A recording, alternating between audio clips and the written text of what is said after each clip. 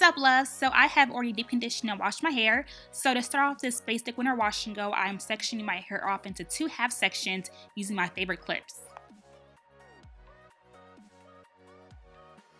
Now I will take my favorite leave-in at the moment, which is the Curls Blueberry leave-in, and apply that to the first half of my hair.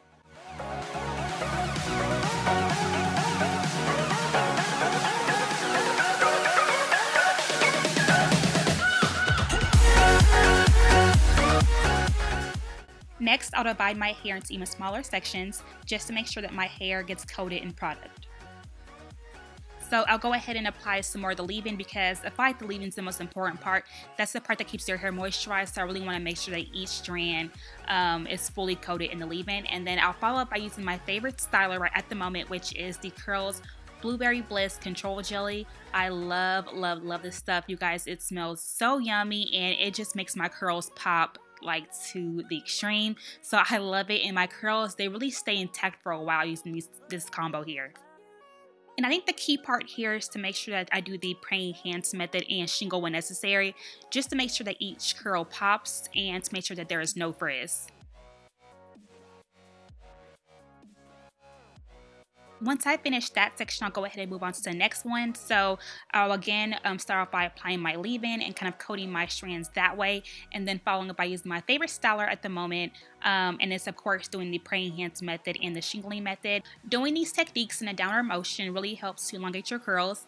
I've noticed that using this combination of both the leave-in and the jelly, it helps my curls stay elongated even when my hair is fully air dried. So not only are my curls super moisturized, but they also have a good amount of hang time, which is every natural girl's dream.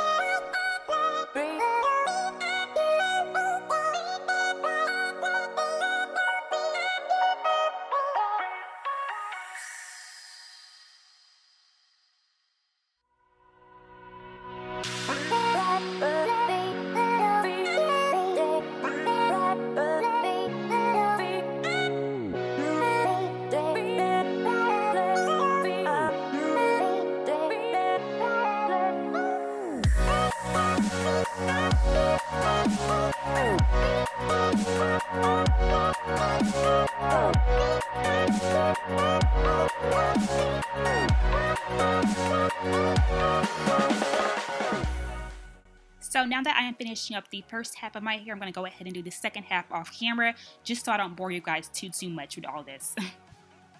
this is how my hair looks once I have completed both sides, so now it is time to air dry. After a few hours of air drying, I went ahead and banded my hair to stretch my curls out a little bit more. I actually filmed myself banding my hair by accidentally deleted the footage, so I will leave a link below to my nighttime routine video showing you guys exactly how it works. It's a very old video, but the technique hasn't changed at all, so you guys can follow the steps to see exactly how I did this whole banding method. It's very straightforward, very easy, but I use this literally every single night.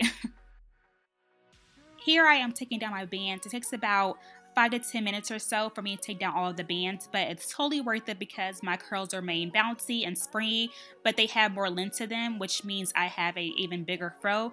And you guys know by now that I love me a good big fro.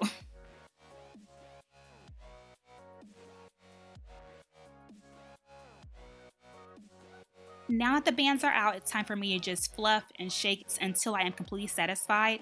So all I do here is literally just play around with my hair. I pretty much stretch it out, shake, fluff, use a pick sometimes. It doesn't matter. As long as my hair, until my hair gets to my satisfaction, I just play around with it for like the next like five or 10 minutes or so. Um, so yeah, just keep playing with your hair until you are satisfied and happy with how it is looking.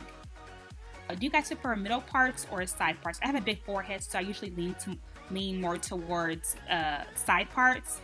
But I have been really feeling the middle part with the curly hair. So let me know down below what you guys think. Middle part or side part? What's your favorite?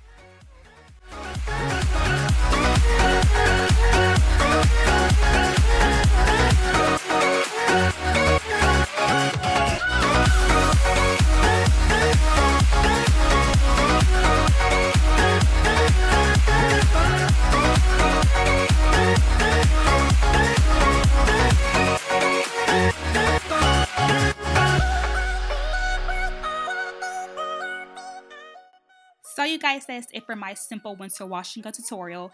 I hope you all enjoyed today's video and if you did, please give it a thumbs up and subscribe if you guys haven't already. Love you guys and thanks for watching and until next time, peace.